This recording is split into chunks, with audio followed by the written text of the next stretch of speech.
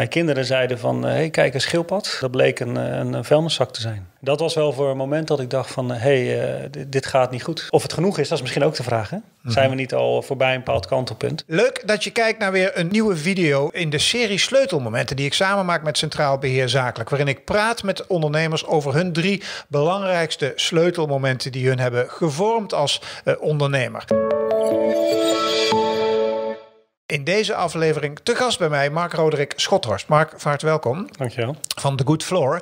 Uh, uiteraard doe ik altijd mijn research van tevoren. En ik vond bij jou zo meteen naar je drie sleutelmomenten hoor, want daar gaat deze video over.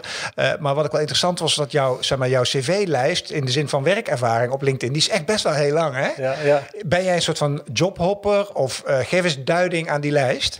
Ja, ik ben altijd, degene, uh, altijd iemand geweest van als ik een kans zie, dan, dan gaan we ervoor. En dan denken we niet te veel over na, want luister naar je gevoel. Ja. Als iets voorbij komt en mensen vragen je, heb je zin om bij ons aan de slag te gaan en wil je er iets voor maken, dan, dan, dan doe ik dat. Ja. Maar ik heb altijd wel altijd gedacht, ik ga ergens naartoe. Ik doe ervaring op. Ik ga vooral kijken ook wat ik niet leuk vind. En uiteindelijk is het ook gebleken de connecting the dots, om het zo maar even in het Engels te zeggen. En uiteindelijk al die ervaring bij elkaar is er eigenlijk de goed voor ontstaan. Dus, uh, ja, ja, dus dat klopt uiteindelijk allemaal klopt er wel. Ik heb uh, wel een langere periode bij, bij een vloerenbedrijf gezeten, een jaar of vijf zeg maar. Dus ja. ik, uh, maar het was niet zo dat ik, het, het was meer van, ik wil eens kijken weer hoe het ergens anders is. Misschien een tip voor jonge ondernemers, dat je gewoon niet te moeilijk doet over keuzes, maar dat je gewoon veel stappen moet zetten en uiteindelijk connect je wel. Zo, zo is het, zo is het. Hè? Mijn vader, ik had een goede studie gedaan en ik ging ergens werken en toen ging ik op een gegeven moment een jaar zeilen in Griekenland. Ik denk, nu heb ik nog geen kinderen, ben ik niet getrouwd.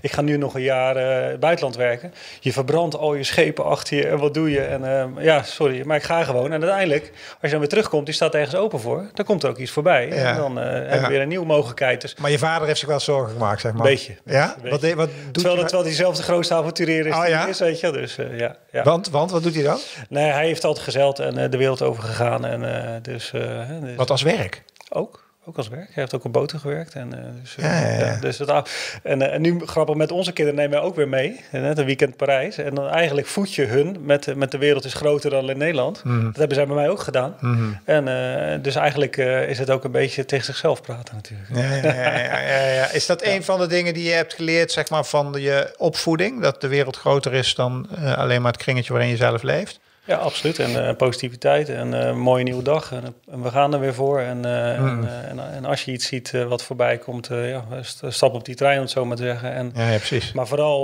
luister ook natuurlijk naar je gevoel. En, en, maar wel altijd hard werken. En, en, en, en vooral, wat ik heb meegekregen, wees nieuwsgierig dus uh, nieuwsgierigheid, uh, sta ergens open voor. Mm. En oordeel niet uh, te snel. Nou, dat is uiteindelijk... Zo, dat zijn ongeveer acht lessen volgens mij in één zin. Waarvoor dank. Ja, geweldig. Hey, drie momenten waaronder zeilen in de Griekse wateren als eerste. Maar laten we even voor de kijkers, want het werd al één keer genoemd, de Good Floor. Even in het kort, e-, even, even de pitch. Wat, wat is de Good Floor? Ja, we zijn, om het zo maar gezegd, zijn een duurzaam vloerenbedrijf. Wij maken gebruik van lokale grondstoffen. Dus uh, we maken een terrazzo-achtige vloer, waarbij we een, een bio-based binmiddel, die in allerlei kleuren kan verkrijgen, mixen met, met grondstoffen. En dat is in dit geval plastic, gerecycled plastic uit rivieren. Maar we hebben ook inmiddels een samenwerking met uh, de kledingindustrie.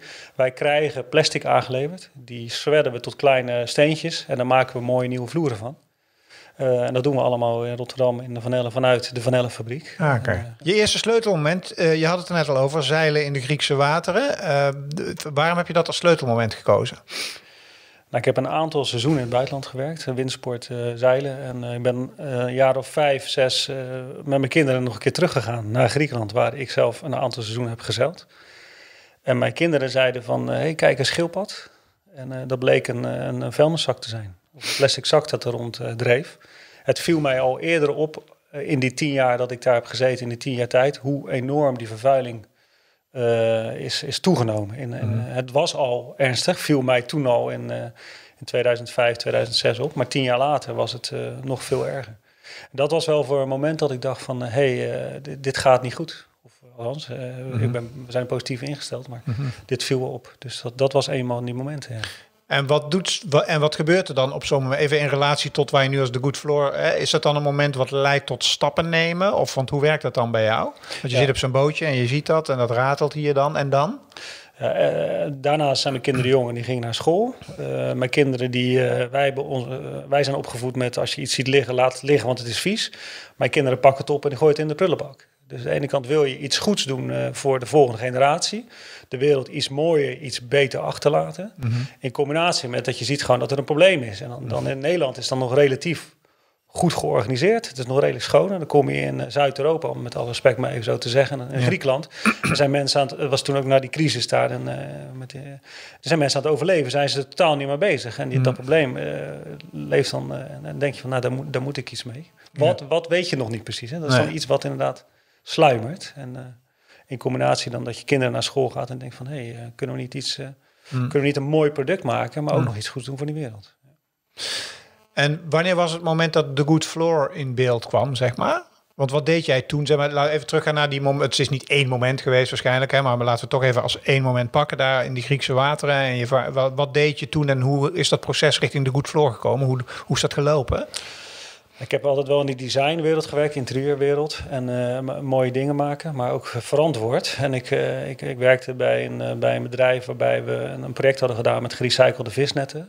Dat, dat merkte ik aan mijzelf, dat, dat, dat gaf mij enorm veel energie. Dus aan de ene kant een mooi product maken, aan de andere kant ook verant, verantwoord product Wat maakten jullie met visnetten dan? Ook vloeren, een, eh, een, een type vloer met, met gerecyclede visnetten daarin. Dat is handig met naaldhakken. Of hoe moet ik dat zien? Ja, nee, ja dat, dat ziet er gewoon... Hè, eh, Dat werd ook verwerkt in een Dat soort... werd eh, ook eh, verwerkt in een, in een soort vloer. Ja. Ja, dat ja. had ik voor een architectenbureau gedaan. En, en dat was een van de laatste projecten die ik had opgezet bij dat bedrijf destijds. En ik merkte dat ik daar gewoon heel enthousiast van werd. Dat ik Ja. er heel veel energie van Ja. Dat er ook de klanten daar eh, enorm... eh, de, de ene kant mooi product, de andere kant een, eh, een verantwoord verhaal. En dat was eh, 2018, 2019. En toen is bij mij wel dat, dat, dat lichtje gaan, gaan branden. Ik denk, hier, hier wil ik iets mee, hier moet ik iets mee. Eigenlijk is toen alweer een jaar, eh, toen ben ik voor een Deense meubelbedrijf gaan werken. De, die, die, die mogelijkheid kreeg ik toen. Toen ben ik daar, eh, die vroeg, wil je alsjeblieft nog weer voor ons iets opzetten in, in Nederland? Dat heb ik gedaan en toen kwam corona. En toen zat ik thuis en eh, een van de architecten die heeft allemaal eh, vangers in rivieren in Nederland liggen om, om, om afval eruit te halen. En daar heb ik een dag mee meegalopen en ik, ik, schrok mij helemaal. Is dat moment twee? Dat was- dat moment, dat- dag, een dag meeloop met Clear Rivers. Ja, Ja, ja. vertel eens. Ja, Clear Rivers, Ra- Ramon eh, maakte, eh, heeft zijn leven toegewijd aan het... Aan het hij zegt, het probleem is voor 90%, die, de Ocean Cleanup is geweldig, maar het probleem is... ehm, eh, steden, mensen liggen bij, eh, hè, zijn bij, bij, voor 90% bij rivieren. En daar, daar ontstaat ook het afval. En eh, voordat het de oceaan of de zee ingaat, Moet ervoor zijn eigenlijk. moet je eigenlijk ervoor zijn. Ja. Buiten het feit dat je natuurlijk het hele probleem eh, daarvoor al moet oplossen vanuit de industrie. Maar laten, de- laten we proberen in ieder geval nu een verschil te maken. En hij heeft allemaal vangers in Nederland in rivieren liggen. Maar wees niet zo goed wat hij daarmee moest. Dus ik ben een dag met hem meegelopen en ik, en ik schrok mij. Ik me echt. eh, Wat zijn vangers? ja, dat zijn eh, apparaten die ze in de rivier leggen. En die maken gebruik van eb en vloed. En dan stroomt het afval in die vanger. En dan blijft het daarin. En dan moet het er weer uitgehaald worden. Ja. En dat heb ik een dag met hem gedaan. Daar ben ik meegegaan. Gewoon uit interesse. Ik wilde het gewoon eh, ik wilde het zien hoe dat werkte. Ik zat toch maar thuis met die corona. En, en ehm, eh, we hadden zo'n vanger leeggehaald en we draaien ons om. En die vanger loopt weer vol met plastic en met afval en met, met rotzooi en piepschuim. En eh, toen dacht ik, en toen zei hij van ja, ik heb me gewoon toegelegd op het leeghalen van die rivieren en zo goed mogelijk dat te doen. Maar ik weet eigenlijk ook niet zo goed wat ik met dat afval moet. Dat is ook niet mijn expertise. Toen gingen we met hem naar de werkplaats en naar de afval. Nou, toen kwam het je tegemoet. En hij zegt, dan bel ik maar weer de, de lokale afvalverwerker en die haalt het op en die verbrandt het. Toen dacht ik van, het, is zonde. Dus ja, hoe kan ik hem helpen om nog meer eh, afval eruit te halen? En eh, hij deed ook educatieprojecten. Hoe kan je bijdrage daaraan leveren? En die bewustwording. En wat hij ook wel terecht zei, is, ehm, laten we zeggen, de generatie boven ons, met alle respect van, eh, van, mijn, eh, van mijn ouders bijvoorbeeld, of mijn opa en oma, die dachten er niet over na. Wij zitten daar een beetje tussenin. Aan de ene kant weten we wat er aan de hand is, aan de andere kant weten we ook niet zo goed nog wat we ermee moeten. Maar als je dan de volgende generatie ziet, ja, die zijn zich veel meer bewust van, van eh, de natuur en om zich heen althans. Dat, en hij zegt ook, laten we dan daarop richten. Hè, Laten we het dan in ieder geval proberen wij er iets, iets beter, mooier achter te laten voor die volgende generatie. En dat in combinatie met die kinderen, in combinatie dat ik zag dat dat, dat zwerfafval eh, alleen maar toenam. En dacht ik van hier, eh, hier moeten we wat mee. En hoe start je dan de Good Floor, zeg maar? Door gewoon te beginnen. En, maar had je daar geld voor nodig, middelen? vertel, want het is ook een ondernemersverhaal natuurlijk dit, hè? Ja. los van de sleutelmomenten. Hoe heb je dat aangepakt? Ehm, ik, ik, heb de mogelijkheid gekregen om een subsidie te krijgen vanuit, vanuit de overheid. Vanuit RVO is dat dan? RVO, 18.000 euro op basis van de CO2-besparing en milieuvervuiling of luchtvervuiling. Sorry, dat is Rijksdienst voor Ondernemend Nederland is dat volgens mij. Hè? Voor de mensen die denken, wat zegt hij nou snel RVO? Ja. Precies, dat is het. Ja. Google, zeg maar. Ja. Ehm, eh, die hebben mij de, die subsidie kunnen geven. Uh, daar ben ik toen voor een aanmerking gekomen. Uh, in combinatie met een professor in de TU Delft die dit concept omarmde en heel veel verstand had van vloeren, zei: Nou, dit is dusdanig onderscheidend idee. Ik ga je helpen om een patent te krijgen. Met een oud collega, uh, ver in de 60, die zei van eindelijk gebeurt er weer eens wat in vloerenland. je maakt niet hele mooie vloeren, je hebt een idee, maar je maakt ook nog eens een keer verantwoorde vloeren. Dan zijn we met z'n twee aan de slag gegaan, hebben een aantal samples gemaakt, uh, voorbeelden. En dat zag er eigenlijk in combinatie met dat plastic, dus was letterlijk de eerste batch plastic die we kregen, was gesnipperd groen en gesnipperd blauw.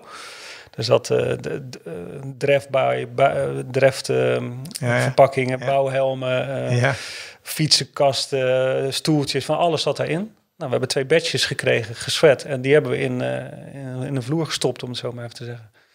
Nou, dat zag er eigenlijk al wel heel aardig uit. De eerste was eigenlijk best wel leuk, maar dan denk je achteraf, hoe kan dat? Maar natuurlijk omdat je 15 jaar ervaring hebt in die vloeren, met iemand die al in de 60 is, die al 40 jaar vloeren maakt, kom met z'n tweeën toch best wel snel al tot een resultaat natuurlijk. En dat heb ik toen in die coronatijd mogen pitchen in mijn netwerk bij een aantal architecten en designers. Die zeiden, nou het is corona, we ontvangen niemand, maar dit vinden we zo inspirerend vrouw, kom alsjeblieft langs. Mhm. En die zeiden eigenlijk vrijwel direct, uh, we vinden het zo gaaf en uh, met jouw ervaring en met die installateurs die, uh, die met jou samenwerken, we hebben wel een project. Nou, dus kun je leveren? Voor je, dat was het. Ja, ja, ja. Voor je het wist, hadden we... Had je handel? Hadden we handel, ja, precies. Hey, en wat heb je daarvoor nodig? Want je zegt even snel, dan schredden wij dat even. Maar dat is, niet, dat is, geen, dat is geen apparaatje wat je bij de blokker koopt, zeg maar. Nee, dat, uh, dat is best een uh, investering geweest. Natuurlijk die 18.000 euro of die 20.000 euro die je dan krijgt. Van, dat is natuurlijk even dat setje om, om die kleine investeringen te doen. Je stopt er mm. natuurlijk hoop eigen geld en tijd in. Ja. Um, um, we, we, hadden via dat netwerk waar je uiteindelijk dan, eh, zeg maar, in die, er is een heel, er is een heel netwerk van, van, eh, van duurzame start-ups of, of, en gerecyclede bedrijven. Als je daar een beetje in zit, dan, dan word je wel uh, geconnect, om het zo maar te zeggen. Ja, ja. En, en zei, nou, er zit in Rotterdam een bedrijf die verwerkt plastic op, op wat kleinere schaal. Daar kan je naartoe. En die hadden apparaten staan. Die konden het schoonmaken en die konden het voor ons vermalen tot kleine korreltjes. Mm en uh, Frans, uh, enorm dankbaar dat hij ons heeft geholpen. En die heeft ook ons ook heel veel verteld en geleerd over plastic. Ja. Want je kan niet zomaar ieder plastic in een vloer gooien. Want? niet ieder plastic leent zich daarvoor. Dus uh, bijvoorbeeld petflessen is al wat lastiger, polyester is lastiger, uh, piepschuim kan niet. Dus we hebben daar wel echt onderzoek naar moeten doen. Van, uh, welke... Qua hardheid of zo? Precies, qua hardheid of qua zachtheid. Of... Want is er alleen maar plastic wat je in die vloer kan gieten? Ik kan me ook voorstellen dat, dat daar andere meuk in kan, zeg maar. Ja, goeie vraag. En er wordt ons ontzettend veel gevraagd van bijvoorbeeld uit de kledingindustrie. Van, kan je niet kleding in de stoppen? Of, of kan je... van de week kregen we oude gerecyclede dekbedden. Of, het, dat is niet zo makkelijk. Hm. Dat is niet makkelijk. Uh, er zaten ook echt wel drie innovatiemomenten in het product, waarbij we dus hebben moeten kijken van hoe gaan we dat uh, oplossen. Dus niet, uh, dat lukte niet, maar dat is ook logisch. Met, het is ook nog nooit dat, naar ons weten gedaan. Nee, nee. Er is ooit een keer een vloer gemaakt met, met rubber daarin. Nou, dat is, dat is niet gelukt vanwege, vanwege technische mankementen. Maar um, we hebben een hoop getest. En uiteindelijk blijkt dus dat PP, het polypropyleenplastic, wat ook het, tegelijk het meest gebruikte plastic ter wereld is. Dat zijn bijvoorbeeld de emmetjes, uh, de, de, de, de, Senseo koffieapparaat, die dat hardere plastic wat daar omheen zit. Ja.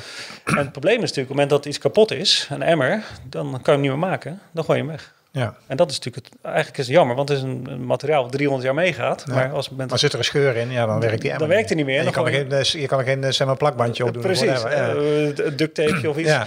Maar dat, dat werkt dus niet. Dat is natuurlijk, dat is natuurlijk het ene kant, hebben we daar nooit met z'n allen over nagedacht. Over, we maken iets, we denken dat het heel goed is, maar als iets kapot gaat, dan gooi je het toch weer weg. En maar dat is het hele circulaire denken natuurlijk, wat we moeten leren. En of je nou recyclen of upcyclen noemt of weet ik veel wat. Maar dat is natuurlijk het hele verhaal, dat je moet leren om iets want jouw plek in die keten, dat is natuurlijk maar één plekje. Zou je die uit willen breiden? Snap wat ik bedoel? Ja. Dat je een grotere impact hebt op het hele, op het hele circulaire systeem. Nou, we, richten ons, we richten ons echt op die grotere eh, zakelijke projecten. En dat simpelweg omdat we daar dus veel meer van de plastic in kwijt kunnen. Ja. Wij zijn, eh, ja, het neemt een enorme vlucht, dus wij zijn er ook klaar voor. En wij kijken ook nu wel weer voorzichtig om ons heen of we andere ketens ook eh, Ja. kunnen helpen. Ik, andere kant, er is zoveel afvalplastic. Mhm. Er is zo ontzettend veel dat dat dan kunnen Ja. we miljoenen vloeren maken. Maar is er, zijn er, is er behoefte aan miljoenen vloeren? Nog niet, maar ik denk uiteindelijk, eh, de vloerenmarkt, om het zo maar te zeggen, is natuurlijk gigantisch. Iedereen heeft een vloer nodig. Je koopt een nieuwbouwhuis en je hebt een keuken en een vloer nodig, in ieder geval. Ja. Dus die markt, en eh, die is natuurlijk gigantisch. En Maar keukenkastjes?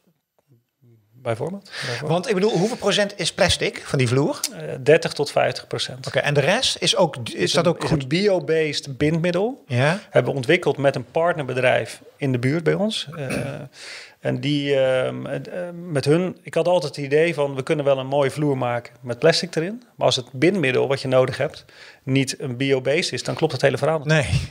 Dus die, eh, en, en het hoofdbestandmiddel van het bio-based bindmiddel is een, is, een, is een olie, een castorolie, een soort zonnebloemolie.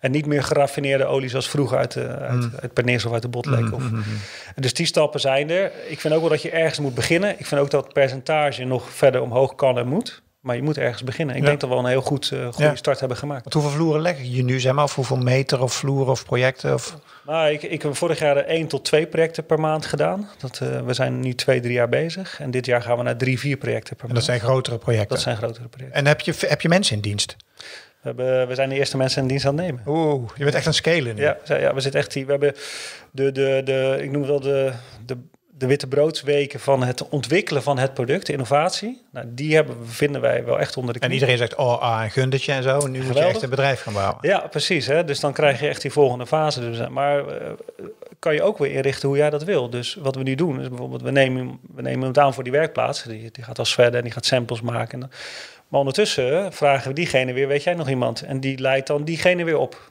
Dus, dat je, hè, dus je kan het ook natuurlijk op. We proberen er wel een hele platte organisatie van te maken, Ja. die, die zoals we dat zeggen, zelfsturend is. Ja. Waarbij, eh, waarbij je een aantal deelgebieden hebt eh, die, waar iedereen verantwoordelijk voor is. En eh, uiteindelijk gaat het ook natuurlijk gewoon om goede mensen aan te nemen. Ja. En, en mensen die, nou, ze zeggen wel, er is een arbeidstekort. Nou, gelukkig melden ze zich bij ons uit Mm. zichzelf aan om, en zeker de jongere generatie, laten we zeggen, net afgestudeerd 25 tot 30, 35. Die zeggen van willen ergens werken, maar willen ook eh, impact maken. Ja, ja, moet een goed verhaal zitten. Ja. En, eh, en dan, eh, we, we zeggen altijd bij een, bij een start-up scale moet je twee keer zo hard werken voor twee keer zo weinig geld. Maar ik denk de zingeving en, en de, de doel waar we met z'n allen voor werken, dat is de volgende generatie iets beter en, en, en veiliger en schoner achterlaten. Ja. Met z'n allen daaraan werken. Ja. Dat, die common sense, om het zo maar te zeggen, die, dat gemeenschappelijke doel, die is er. Ja, dat brengt ons naar het derde sleutelmoment. eh, als je het hebt over die nieuwe generatie. En die, ja, ik weet niet of het nou echt een moment is, maar je hebt het omschreven als hoe mijn kinderen begaan zijn en omgaan met de natuur en omgeving. Ja. Dat is niet echt een momentum, denk ik. Maar waarom heb je hem toch als derde sleutelmoment gekozen? Nou, als je dan naar het moment toe, we liepen in het bos en eh, er, lag allemaal vervuiling in het bos. En onze ouders zeggen, blijf maar er vanaf, het is vies.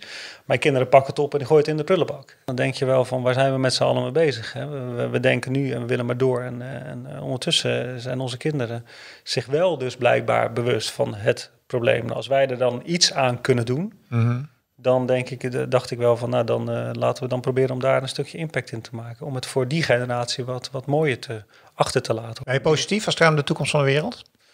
Tuurlijk, tuurlijk. Kijk, je ziet het, het is nieuws altijd al geweest. Je ziet natuurlijk alleen de, de, de vreselijke berichten, om het zo maar te zeggen. Maar ik denk, zoals je, nou ja, goed, wij zijn al bezig. Ik denk dat er zoveel initiatieven zijn om er iets aan te doen. Die bewustwording is in ieder geval. Ja. En daar gaat het natuurlijk om dat je bewust bent. Hè. Je kan van mij eh, prima een eh, emmer van plastic maken. Maar misschien kan je hem maken dat hij wat langer meegaat. En misschien kan je hem zo maken als die kapot gaat, dat je hem weer kan maken. Ja. En, en dat is, daar is natuurlijk nooit over nagedacht de afgelopen 50 Nee. jaar. Nee. Eh, en, daar, da- en ik denk, ehm, wat ik wel zie ook, bijvoorbeeld onze doelgroep met wie wij samenwerken, dat zijn architecten en designers bijvoorbeeld, die zijn echt onze ambassadeurs, heel belangrijk voor ons. Die zien de nieuwe producten. Ik denk dat ongeveer 10, 15 procent van alle architecten designers er echt heel bewust mee bezig zijn. Maar dat, die groep die groeit alleen maar. En zij zijn natuurlijk ook de voorlopers om, eh, om, Ja. om ons mee te nemen aan, eh, aan de hand en zeggen dit is belangrijk. En, daar ben ik ze ook enorm dankbaar voor dat zij hun handen in het vuur willen steken om met, met, een, met een vernieuwend duurzaam bedrijf als ons in, in zee te gaan. Ja. Maar ik zie die groep alleen maar groter worden. Mm. Dus of het, of het of het genoeg is, dat is misschien ook de vraag. Hè? Mhm. Zijn we niet al voorbij een bepaald kantelpunt? Mhm. Ik wil er niet een heel dramatisch negatief verhaal van maken. Maar als ik bijvoorbeeld uh, Clearwivers Ramon spreek van, het, van die rivierenvangers, die zegt ja, het, is, het wordt er niet beter op. Werk aan de winkel dus. Zeker. Dankjewel Mark dat je mijn gast wilde zijn. Graag. graag en uh, dankjewel naar het, uh, voor het kijken en luisteren naar weer een uh, aflevering uit de serie Sleutelmomenten die ik maak met Centraal Beheer Zakelijk. En denk je nou van hé, hey, dat is eigenlijk best een hele leuke serie, want dat is het. na een, over een paar seconden, als je op YouTube zit te kijken nu op het CVD-TV-kanaal, over een paar seconden twee andere video's. Ben je aan het luisteren naar de podcast, dan zoek vooral in de podcast van Centraal Beheer Zakelijk naar alle afleveringen of in de podcast van CVD-TV. Oftewel, wat je maar wil, overal is de serie Sleutelmomenten te vinden. Voor nu, dankjewel voor het kijken en dankjewel voor het luisteren. Hoi!